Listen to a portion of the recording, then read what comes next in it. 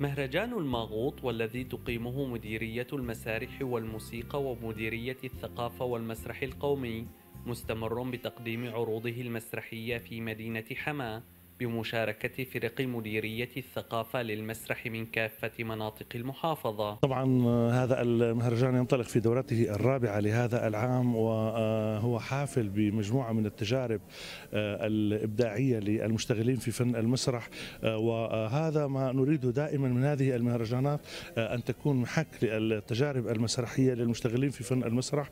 اسم الماغوط هو اسم كبير في مجال الإبداع المسرحي وإنساني وليس سوري أو حموي فقط وتجاربه وصلت إلى آفاق الكون. ولذلك يجب أن نحترم هذا الاسم وهذا ما نفعله من خلال ما نقدم من تجارب كبيرة. المهرجان المسرحي يختلف عن الشعري والقصصي والأدبي المسرح لم يكونوا مخطئين عندما قالوا المسرح أو الفنون وهذه المهرجانات التي تقدم سواء من مدير الثقافة أو مدير الفنان محاولة لإرجاع المسرح إلى ما كان عليه إلى الأمة الحضارية تحب المسرح ما أمكنها إلى ذلك السبيل. الأعمال المسرحية التي سيتم عرضها خلال أسبوع هي نتاج مجموعة من التجارب الشبابية الجديدة والواعدة برؤية عصرية. تجربة جديدة وكل العروض اللي بدأت تقدم بهذا المهرجان يعني عروض لناس تعمل جديدة يعني ما في أسماء قديمة شاركت المهرجانات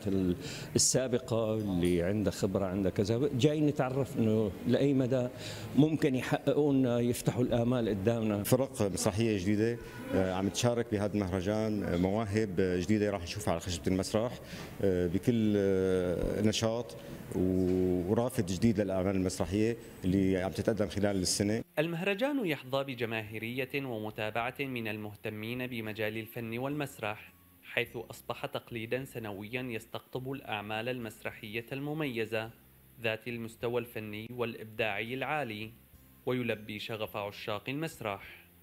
حسام الشاب الإخبارية السورية مدينة حماه